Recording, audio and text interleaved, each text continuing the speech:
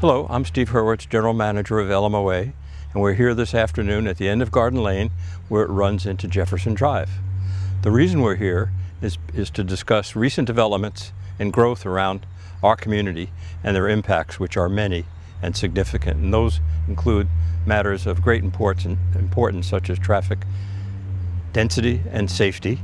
stormwater impact on the lake, the overall look of the area, and to make, to make sure that access to our amenities is proper. The board has a big role in these development processes and has decided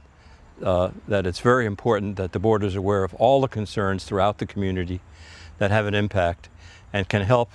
residents as well as uh, MOA, LMOA take action to make sure that those concerns are known and considered in the development process, particularly by county development including the Planning Commission and the Board of Supervisors. So in order to do that, the board at its September 23rd meeting authorized a working group composed of community members, board members, committee representatives in order to gather all the information possible, make sure we've got information on all the concerns and so that they can be properly addressed. In order to ensure that community members are well informed, we've taken several steps. That includes, includes passing on announcements of public meetings uh, by the developer and by the county, and also by making sure that the working group meetings are clearly announced and so any members of the community can attend and uh, make, make their concerns known so that we, they can be properly consolidated, evaluated, researched, and passed on. This group is critical in listening, collecting the data, and analyzing it, and then putting it in front of the board so that the board can have a a view, can express a view that does represent the view of the majority of people, the concerns and so forth, as well as making sure that people are informed about the venues, the public venues, including the Planning Commission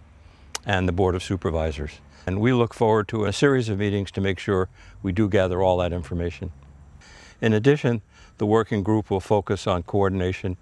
uh, and problem solving with other agencies that play a huge part in any development, particularly the, the one that we're here today talking about, so that VDOT is, uh, plays a big part in evaluating traffic density and safety. The fire department and the sheriff's office all play a critical part in evaluating the proposals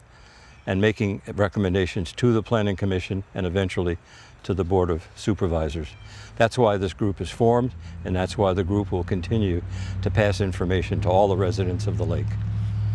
Thank you for taking the time to listen to this message, and more importantly, for your interest in this very important matter.